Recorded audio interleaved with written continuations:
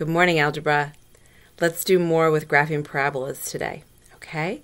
Um, so, I've got a step-by-step method for graphing parabolas that I think is, um, that just takes a look at a lot more of the equation than just plugging in a table of values. And it's, it's a lot, it gets much more specific and it gets to where that parabola lies on the graph more quickly than just randomly plugging in a table of values.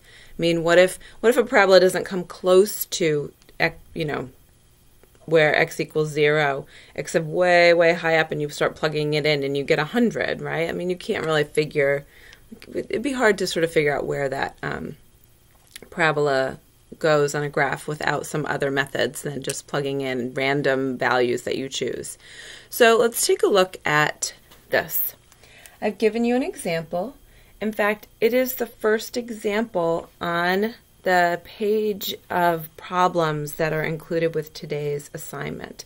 So if you haven't looked at that yet, then pause this video, get it out, and follow along on the paper um, if you don't want to follow along here on the video, okay? So I'll hold, hold just for a second for that. Pause. Okay, we're back. So I've given you y equals x squared minus 2x minus 3. All right, so we've got the y equals, which means we can put it on a coordinate plane. I've got my coordinate plane right here. We're going to start, and, and uh, on the examples that I've given you, it's it goes through this A, B, C, D, all right? It goes, maybe even E. It goes step by step, and I would encourage you to, on the four problems that I gave you to do, that you go step by step and follow the exact same order and same um, process, okay? None of it's hard. It's just step by step. So we're going to find the x-intercepts first. Remember the x-intercepts are where y equals 0.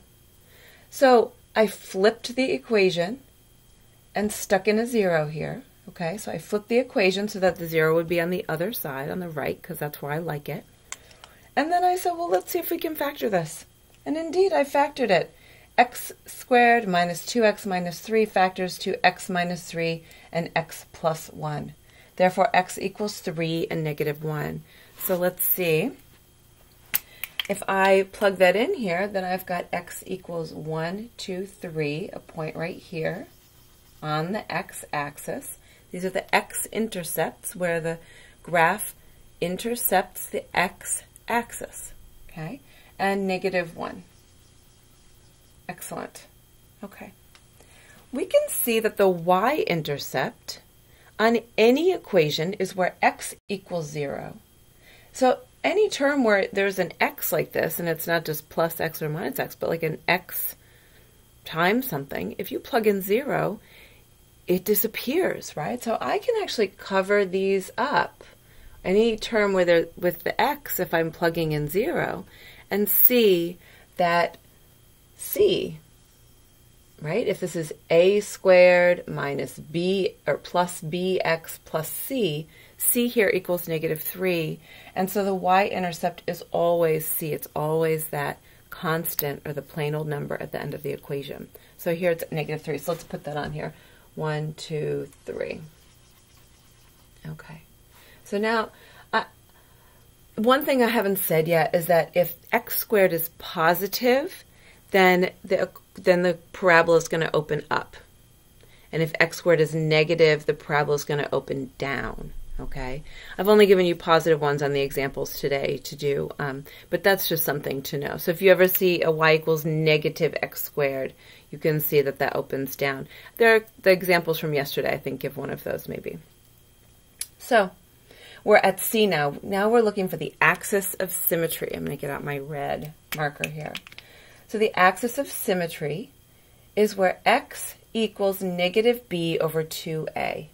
X, and this is in this equation where y equals ax squared plus bx plus c.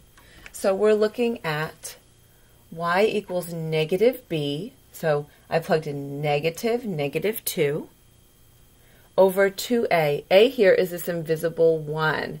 So over 2 times 1. So if I negative negative 2 is positive 2 over 2. And so that should equal positive 1. And I have negative 1 here, which is wrong. So I found my mistake. Good. So this equals negative 1. And that matches up with my graph, which comes down here.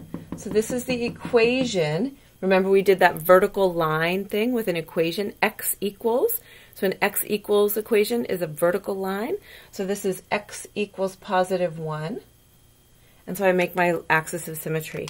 That means that every point on the left of this line has a partner point to the right of that line.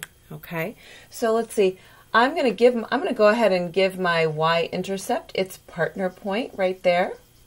Okay, so there's a partner point on the x-axis. The y-intercept has a partner point. And then, let's see, um, I've got this vertex. So the vertex is, oh, and I plugged this in wrong because I plugged in a negative 1. Let's see what I'm doing here. I'm making mistakes. Let's plug in 1. Still, it should be negative 4.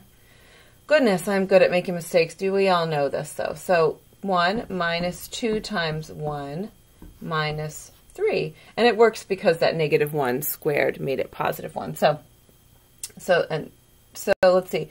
So I plug in 1, and I get x 1 squared is 1, minus 2 is negative 1, minus 3 is negative 4, and so it is negative 4. Um, so I'm going to plug that in right there, okay? And so let's see.